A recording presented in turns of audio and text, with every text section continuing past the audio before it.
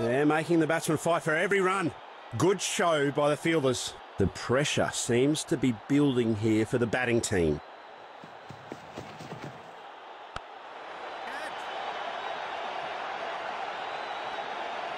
Well judged catch by the fielder. That's some great bowling. Batsman. What a performance from the winning side. They'd be really pleased with that result. Poor batting display. Completely dominated by the opposition bowling. They have to go back and revisit the basics. Some smart work by today's man of the match. A world class performance with the ball.